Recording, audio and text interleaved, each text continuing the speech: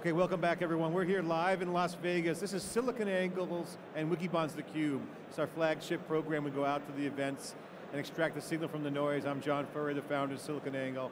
Joined my co-host here for the next three days, Dave Vellante. This is our, our kickoff segment, um, really kind of the preview. It's cocktail hour. Uh, everyone's schmoozing, doing a little networking. Had the you know, early sessions and talks, the analyst meeting, Dave, we were at.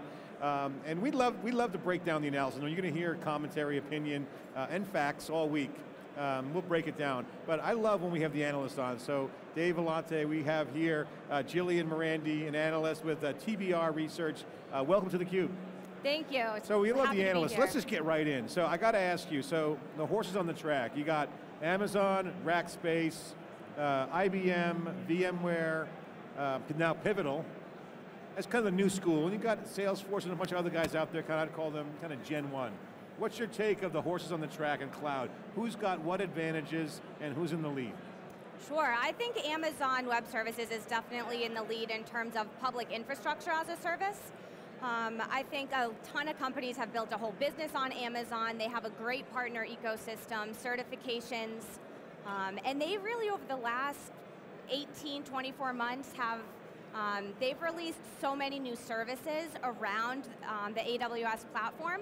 I think they've really taken the lead technologically as well as revenue-wise. Um, in our cloud benchmark, they've really pulled away from the rest of the vendors. They're growing faster, um, and they're really leaving, um, you know, leaving their mark. In terms of the, the second place infrastructure provider, I think that space is open. You know, over the past six months, my view on Rackspace has changed a lot. Um, I thought they were a middle of the road player for a while, but I, I do think OpenStack will be very important, and I think they're making a lot of investments there. They're training um, their partners, they're training their customers. So I think they have a, a good chance at, at breaking out, as well as you know, Pivotal is going to be super interesting. Well, so let's talk about um, your analysis on AWS. You say they're leading the marketplace. Think they, they could do four billion this year, revenue-wise? You think they can hit four billion? Um, we're estimating around three. Three? I wouldn't be surprised if they hit four. I mean, it's hard to tell, right? Because it's in the other category. Yeah. But, uh, okay, so, and, and in terms of infrastructure service, what percent of the market you think they have? 60, 70 percent? You think it's that high? Um, that's tough. I would say maybe around 40 percent if I had to guess. Because there are a lot of smaller vendors. There's Savvis, Dimension Data, um, SoftLayer. So it depends on what you include in there, maybe pure. Uh, now, you, you cover software and cloud, right? Yep. That's sort of a, a broad category. Yeah. So we were talking off camera, AWS, Rackspace, you cover ServiceNow, Salesforce, a couple hot companies, HP Yep. software, and, uh, um, and now when you cover cloud, you cover HP's cloud as well? Um, yes, I do in conjunction with a few team members. So there's um, a few of us, there's a hardware analyst, me, um, another software and cloud analyst, professional services. Um, so we cover companies like HP and IBM, their cloud businesses from a pretty broad angle, because they do so much. So what do you make of the whole CIA deal? You saw that, you saw the, you know, the news came out, the judge's opinion came out. What'd you, what'd you take away from all that? Um, I think if anything, it really helped Amazon's credibility. If one, they won the CIA deal um, at a more expensive price than Amazon, the CIA noted that, um, or sorry, than IBM, um, IBM wasn't as flexible as Amazon, um, it wasn't as secure. This is coming from the CIA, not me. Um, I I think if anything, they're winning it in the first place really made them a player in this space in the enterprise and the federal world. And then when IBM got, you know, started firing back at them, and especially with their new campaign against them, it's just helping Amazon and not making IBM. It's making them look scared. Well, so, a- a- and it's basically IBM saying, hey, we're not going to just let you take our accounts, we're going to fight tooth and nail, right? So Julian, Yeah. I got to ask, so Amazon's really doing well, obviously infrastructure as a service, that's their kind of their bread and butter. We pegged their market share around 36%, and then about 25 other players are going for about 64% spread amongst them, depending on who you talk to. Okay, that's great, that's the usual size of Verizon, Terremark, all the other guys. Um, what about the PaaS market? How do you see uh, the PaaS market from a competitive standpoint? You got everyone kind of coming in there, a lot of education is needed. What's the dynamics in platforms of service? Does that go away? Is that a real market segment? Or is it comes, gets subsumed with between SaaS and PaaS and infrastructure? Uh, I think right now it's a very, very real segment. I think test and dev is a huge workload that companies are moving to the cloud, and we consider that um, platform. I think eventually, um, since platform is from the top down and the bottom up, I think in the long run it'll probably get rolled into either SaaS or infrastructure vendors.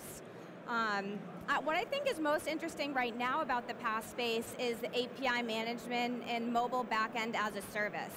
So these platforms connecting, um, if I'm a mobile app developer and I want to connect to all the data, say in Salesforce, I can go through these vendors and connect the back end to the front end and not really have to worry about it. So I, I do think platform, I think that's going to be the sticky point. I think it's going to be you know, somewhat easy to move from infrastructure to infrastructure if you want. I think the platform and the development and the customization is going to be that, that sticky layer. So you kind of have like Cloud Plus, which is Amazon, IaaS Plus, mm-hmm. and you kind of got SaaS Minus, which is Salesforce.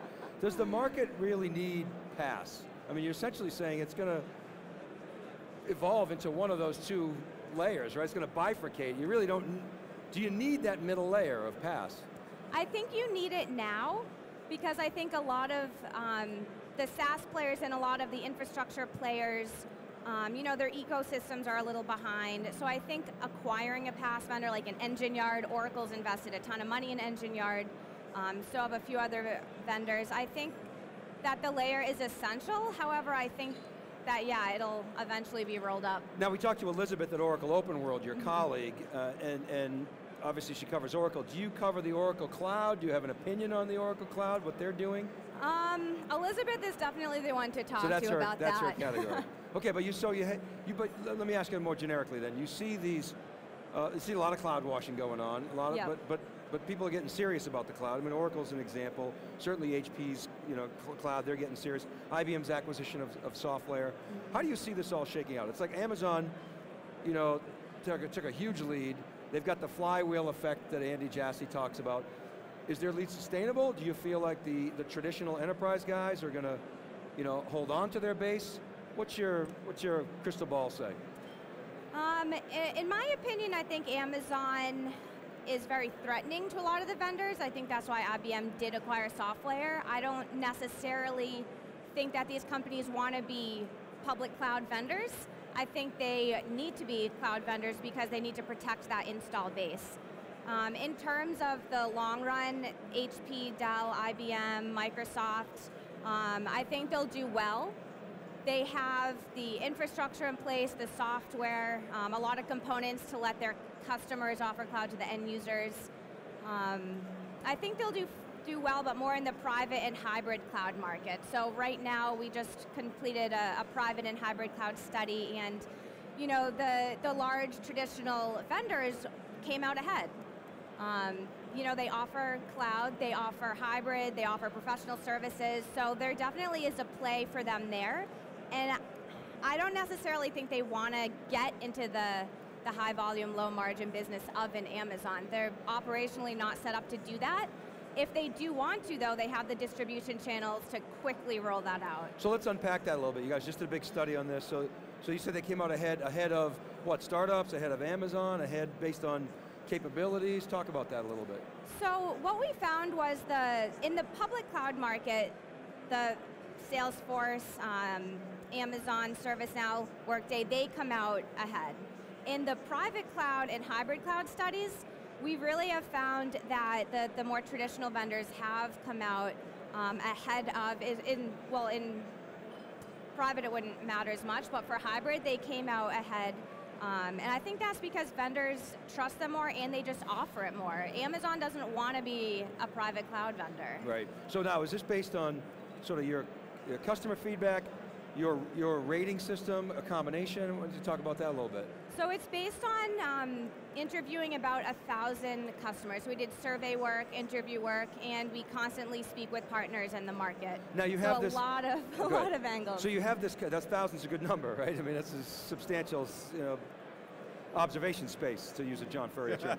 um, so, but, but you have this sort of bias in the market between the IT guys, you ask, you ask an IT person, you know, one thing, you ask a, a head of marketing, you get another, a different answer. Help us squint through that schism. Sure. What are you seeing there? Sure. So I think um, I think a lot of the outcome buyers are going to be line of business. So those are people who want to buy. Um, they want to write a check. They want a service. Uh, for IT, I think that Amazon will probably do well in IT. I think ServiceNow, they sell into IT and then they spread. So I think right now, um, IT is still the, the biggest purchaser of cloud. I think that'll change over time as IT, it, IT is going to change so much because it, um, it gives people's outcomes. So sales teams 20 years ago didn't have something like a Salesforce. So, So- I think now that the option is there, they'll buy it. So, so ServiceNow is a company you follow. I wonder if we could just talk about them for a minute, because Yep. we love ServiceNow. We did the Knowledge Conference last year, and uh, been, been tracking them a little bit. Well, they're just cleaning up. I mean, they seem to be such enthusiasm in the base around what they're doing. They are focused on enabling IT, not trying to end run, you know, uh, IT. What's your take on, on ServiceNow? I think ServiceNow is a, a great company. They started out as a platform, built ITSM, made their customers understand um, you know, exactly how flexible they were, and now they're permeating the rest of the company. Um, I think the technology in, is awesome, it's in place, they really service the enterprise. And then I think bringing on Frank Slootman to run the company and run operations was an excellent choice. It's, you know, there's the technology side and the business side, and um, a lot of companies that are growing that fast, you know, sometimes they need to bring on an outside person who has gone through that to really go to the next level. So I want to bring it back to Amazon. Obviously, we're here at reInvent. A lot of buzz going. on. Were you here last year? No, No, so we weren't. year. We didn't have. We weren't here either, but I understand it's probably at least double what it was. So, talk about competition again. Amazon. I mean, I don't know if you saw that. You probably presumably saw the Gartner Magic Quadrant. Amazon in the upper right. Yeah. CSC was kind of in the same quadrant, but nowhere close. 5x, you know, more compute power or storage or whatever that metric was. To the extent that, that you buy that, and it was good research. I mean, let's let's, let's assume that for a 2nd Mm-hmm. Why is Amazon running ahead of the pack the way they are? I think they made the market. They always had to be ahead of the market because they supported Amazon. Um, and I, I think that what they've done, they can build web services so quickly. They're very agile. Um, you know, they're not worried about their market share or their um, EPS because it's Amazon. So I think they have really been able to do a lot quickly. And with that, they've taken a lot of cost out. And since they're so used to being very low margin, instead of putting that cash in their pocket, and this is me drinking the juice a little bit, I really do think that they've put a lot um, into the portfolio. And I think, you know, they had EC2 and S3 for a while, made, you know, smaller innovations, but again, over the last two years have just rolled out so many products. It, it just, they can develop them so quickly, they're running really fast, and sure, they're making mistakes, but they're learning a lot quicker than the competition. What's your, what's your opinion on, so you're, you're right, they've got this business model where they pour everything back into the, into the business, and they get, the deck is stacked in their favor because they're growing so fast, their stock price goes up when they announce a loss or they announce a little bit of a profit, right? Yeah. What happens when the growth slows down? Uh, do they transition to a new business model? Do you foresee that as a potential problem for them? Talk about that a little bit. So right now we see the growth speeding up, which is interesting because they are so big. Um, yeah, of course, eventually it'll level out. ServiceNow is absolutely leveling out right now. Um, but I, I think for probably at least the next five years, there is so much opportunity for Amazon because they have multiple business models. So enterprises are moving workloads to Amazon. Um, startups are building their entire business on Amazon. Partners are building businesses on Amazon. MSPs are building around Amazon. So I, I think they do have multiple levels. Um, and you know, the, the most recent one I think will be to help people globally have a global distribution center. So a company like Ramco, um, you know, they didn't really have the infrastructure to really grow outside of India, and now if they put Ramco on an AWS instance, they can go wherever they want.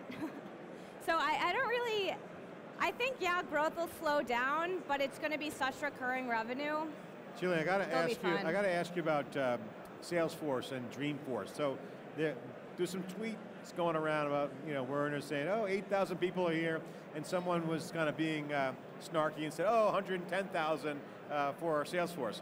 The question is: Salesforce the real? Is it really cloud? I mean, or is it just SaaS? I mean, they're not. Some say they're not even cloud. Uh, they don't really Who says provide, that? well, they don't have infrastructure as a service and platform as a service. Yeah, but they don't claim They're- to have they're infrastructure. As a they're. SaaS. They're SaaS, right. But but to me, they're have they were the original cloud vendor, but they've cobbled together a lot of stuff, and the market's changed really quick. It's well known, and that they've rewritten a lot of code to get modern. So, what's your take on Salesforce? I mean, how do they compare in all this, and are they set up to really be a good cloud SaaS player? Yeah, I think they are set up to be a good SaaS player. Um, they're, I, in my opinion, they're definitely cloud. I might classify them with applications though, so with SAP, Oracle, as opposed to the smaller cloud vendors because they are so big. Um, I think their platform is good. They just announced the enterprise or the private version. Their business model, in my opinion, um, I think they'll be changing it over the next To be more SAP. Oracle-like? I mean, 'cause you're right. I mean, they're more software, business software. Um, I think they'll. I think they'll start to rely on partners a bit more in the channel. Right now, their sales and marketing costs are just phenomenally high, and they've been operating at a loss for for quite a while. Which, in you know, the first few years of uh, a cloud company, yeah, that's going to happen. But I think that Salesforce, you know, they don't need the the all direct sales and all the marketing they do. I think if they start to to decrease that, maybe increase R&D investments, because they also have been acquiring quite a lot of companies. Um, so they need to, you know, make sure to those pull work it all together. They got to tighten up. But Okay, no, so- I, I think they're they're a great company. Okay, so let me let's talk about the platform wars. That's our word. I mean, everyone talks about platform wars, but you know, we were at Hadoop uh, uh, World, Big Data NYC, our event in New York City, which had you know likes of Strata there and uh, Hadoop World, Hadoop data platform from Hortonworks. Cloudera has a new platform, so everyone's got platforms. So I want to ask you, who do you like in the market, in the cloud space, in the enterprise space, that has invested in modern platforms for IT and cloud? So we were talking about ServiceNow. We'll start off and say ServiceNow is one we, we like. So talk about ServiceNow, and who else do you like that really has a good platform with application support and agility? You know, I was gonna say ServiceNow, so I don't know. I don't know if I still can, but Oh, I, we can start with ServiceNow. I think they're set up, since they were built to be a platform from day one, um, I think they're set up to really be an enterprise platform. So they're going to certify all of their applications. They're only going to let a few partners release on their app store eventually when they get an app store, um, and then roll it out to the broader audience. That's a, a totally different approach than a Salesforce and a Google um, who let you know many developers develop on their platforms very quickly, so they get a lot of capabilities. But if you're looking at a real enterprise platform, I Splunk? think ServiceNow. How about Splunk? you know, I'm you not as those guys? familiar with them. Okay. All right, let me get I've your heard take great on. things, though. Let me get your take on. Well, yeah, no, we, we that's another one we like. But let me get your take on the developer community. So developers, obviously Amazon, big developers here. We have brought up ServiceNow mainly because they're attracting a new kind of developer, not the IDE guys doing hardcore development, like business users. I would say knowledge workers, maybe dangerous enough, dangerous enough to write their own some Python, but now with scripting languages and now with visualization software, those new de- citizen developers or knowledge workers now turn developers seems to be a new category. What's your take on that? Are you watching that? Are you seeing that emerge? Yeah, I think the citizen developer is is going to be awesome. It's not going to happen for a couple years, I would say, or at least probably a year and a half, because ServiceNow is a, a long, long way to go in developing their ecosystem. I, I think they're pretty behind in that, so that might really hinder them. Um, but in terms of the developer community, they are so important right now. Everyone is trying to get their business. Um, they're rolling out a lot of API kits and um, you know frameworks for the developers. So I, I think the developers are in a really good place. Now, what will be really interesting is how many of these developers want to support OpenStack, CloudStack, Cloud Foundry, because then they'll have the HP IBM distribution channel. Okay, so I got to ask you, we're, we're going to ending up on our time here. Great analysis, uh, great work, uh, Julie, appreciate it. Put the bumper sticker on the car for this show. What does it mean? I'm driving down the street, I look at the car's bumper, and I want to know about what's going on at reInvent 2013. What's the bumper sticker for this event? What, sum it up in a bumper Oh. sticker. Um, that's a tough one. I, I would could be a long bumper say, yeah. um, continued innovation, continued investment in innovation and growth, and you know, not slowing down, listening to the customers, really giving people the services they want, and still letting the partners fill in, um, you know, the the vertical space. So I guess innovation, if that, Innovation, continuous innovation. whatever that means. Uh, we got some comments on Twitter too. You know, their software-defined data center um, in their own mind, in their own infrastructure, as I was saying. So, you know, obviously Amazon's doing well. Great innovation here at Amazon Web Services. Uh, Jillian Mirandi, thanks for coming on theCUBE. You're a tech athlete. Great Thank to you have very you on. much. Great voice. Love to get the analysts on. Dave and I love to break down and add our opinion as well uh, to the analysis. This is theCUBE. We'll be right back with our, our next guest, breaking down all the action here at AWS reInvent. I'm John Furrier with Dave Vellante. This is theCUBE. We'll be right back for day one kickoff.